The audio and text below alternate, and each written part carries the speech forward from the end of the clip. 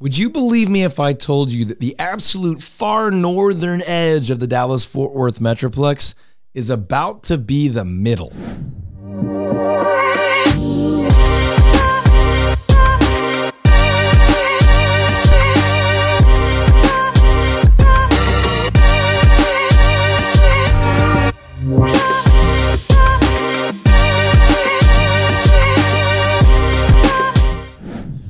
Growth to the north is huge. It's unbelievable. We'll get into the details here in a minute of 1,600 acres that just sold recently, almost exclusively, exclusively for residential real estate development, basically building houses, all north of what two years ago was considered the absolute northern edge. So, depending on when you're catching this video, it's relevant for a lot of reasons. Lots of folks have been thinking about making a move to Frisco, Celina, McKinney, the northern edge, what used to be really the top, top, top of the Dallas side of the Metroplex.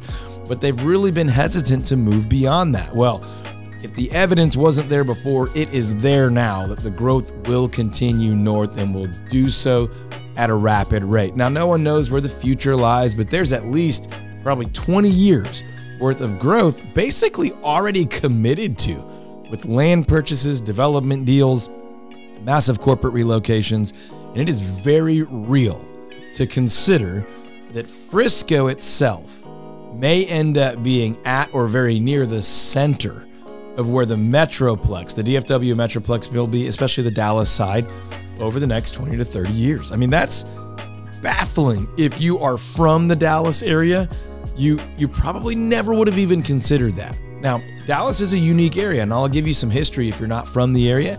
Maybe you're thinking about making a move to the area, or you're newer to the area, thinking about making a permanent move here. Now, Dallas is a unique city in that downtown Dallas, you know, loosely speaking, is actually the southern part of the overall Dallas community. There are definitely some cities and areas south of Dallas, but not a lot. Most of the population and the development is to the north in both east and west directions. North and west of Dallas, you get towards Fort Worth and the airport. So obviously, there's extensive growth out to the west. There's pretty good growth to the east, and there's been almost constant growth to the north uh, throughout the history of, of Dallas's developmental growth. Obviously, there have been periods of lack of, or, or slower development, but we're in a sustained period of rapid development and it is going north and north in a big, big way. Fort Worth is a little bit different. Fort Worth has grown a little bit more to the south and a little bit, a lot to the west, some to the north, and certainly between Dallas and Fort Worth, what would be west of Dallas and east of Fort Worth, has almost entirely grown together. But Dallas right now is growing in a big way to the north.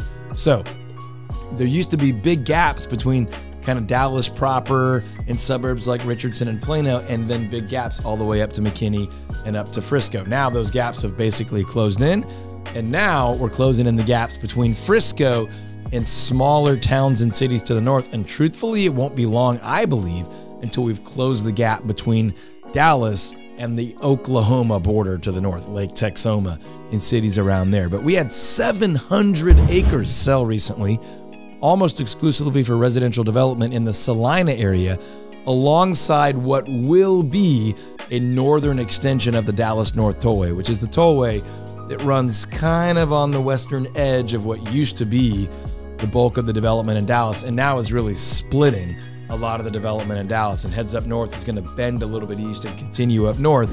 700 acres along what will be the Dallas North Tollway will produce somewhere in the ballpark of 2,500 single family residential homes.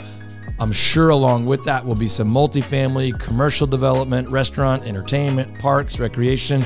Along with that development, there's supposed to be a really great hike and bike trail that will give people access to downtown Celina, which it's kind of funny to say, to be honestly, to be honest, downtown Celina hasn't amounted to much for a long time. A very small area, which is rapidly growing, and this uh, uptown development is the one we're talking about, will produce massive, massive growth. That's the smaller of two recent land purchases for the purpose of residential development.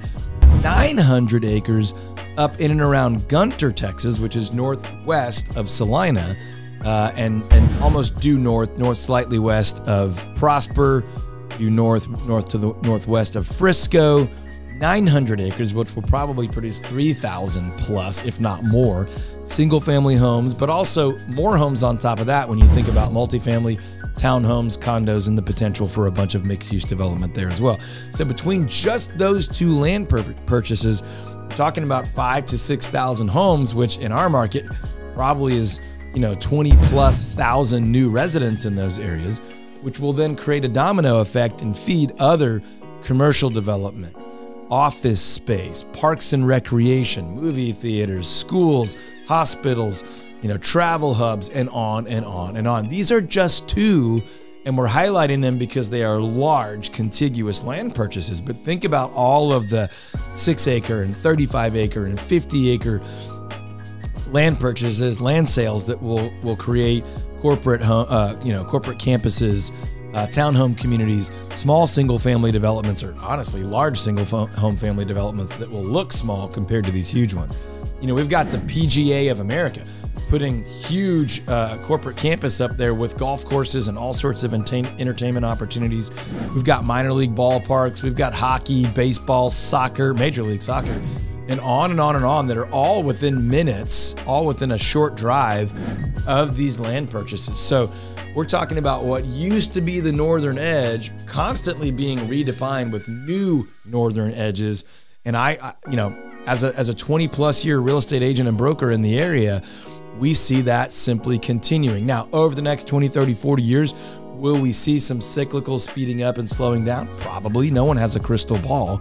We will probably see that. But we're definitely looking at decades of growth in the residential market to the north and with all logic pointing to that residential growth driving you know commercial growth and office growth and healthcare growth and all these other intangibles that follow growth of communities people moving to the area sort of demand and create opportunities for these other businesses and services and, and uh, amenities. So expect that to the north. If you're living in another state and you're thinking about making a move to the area, a lot of people are looking at these northern areas because they can find newer homes at slightly more affordable prices and they can enjoy living in a new, clean, safe, fresh area. That's simply going to continue, right?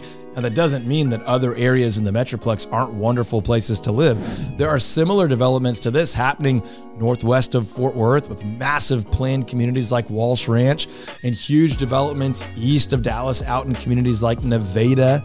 Um, you know, there's massive growth in Allen and Fairview. Um, you know, Lewisville and the Colony and areas like that have been blown up for a long, long time now.